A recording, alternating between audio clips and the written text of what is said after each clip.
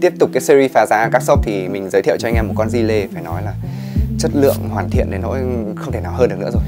Nhưng mà cái giá của nó như áo thun luôn 200 ngàn. Trần bông phải nói là dày dặn luôn Cái cái lớp trần bông nó dày cho nên là cái cổ này nó phồng ra này Nó tròn nó nó phồng ra này. Đấy, cái vải này nó cũng khá đẹp luôn. Ừ. Không phải là xịn nhất. Từ trước giờ mình cầm một con di lê phao mình thích cái vải nó nó mượt hơn một tí nhưng mà cái vải này cũng rất đẹp rồi bên trong này bên trong là cũng trần bông nhá. Bên trong lớp trần bông dày dặn luôn. Con này những cái lớp trần bông của nó nó phồng lên nó không bị kiểu ọp ẹp ấy.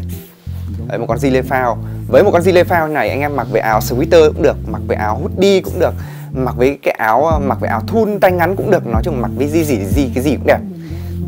Ấm áp luôn quá đẹp luôn mà giá lại không thể rẻ hơn được nữa rồi có 200 ngàn thôi. Anh nào mà thích thì tham khảo nhé